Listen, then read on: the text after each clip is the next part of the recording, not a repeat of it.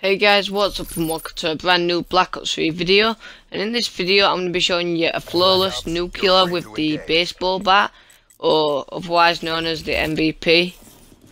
Now it's a super good gun, well not gun, it's a super good weapon but um, as you can see here I'm in a custom playlist with bots just because that's the only way I could get this uh, weapon.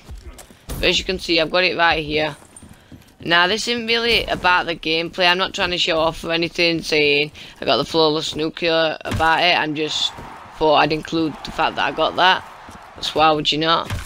But anyway, I just thought I'd showcase this uh, bat a bit. So, as you guys can hear, there's a really cool noise when you kill someone. And uh, you can also point at people. So yeah, it's a really really cool uh, melee weapon.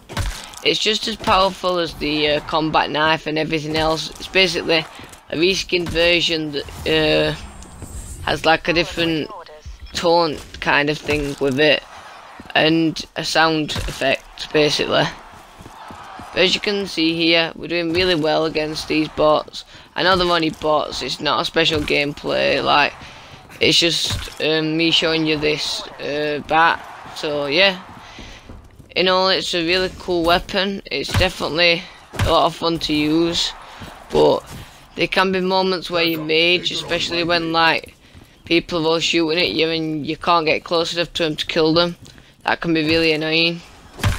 But obviously in this playlist all people were using were the fist and the MVP so that was okay for me. So we've got all our streaks here I called him the HATR, but I weren't really bothering with anything else. HATR on standby. I tried to do the uh, point in as much as I could, just to do the tone.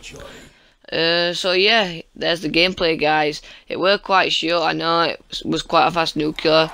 But anyway guys, if you enjoyed this video, please leave a like on it and subscribe for more daily videos if you're new to my channel and also I uploaded a zombies video earlier today if you want to go back and watch that. It's up to you. And if you want to leave a comment down below I will reply to it because I reply to all of my comments. But anyway guys that was a 13 0 gameplay so yeah really cool. So thank you for watching and I'll see you all in the next video